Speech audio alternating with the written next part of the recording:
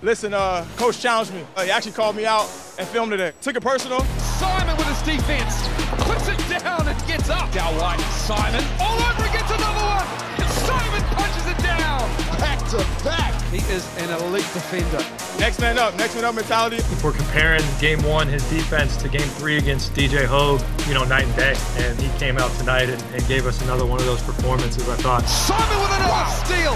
He is getting steals, three steals in the quarter. You know, when he just ripped McDowell White three times in a row or whatever it was in that third quarter, it totally changed the flow and momentum of the entire game. And we never really looked back after that.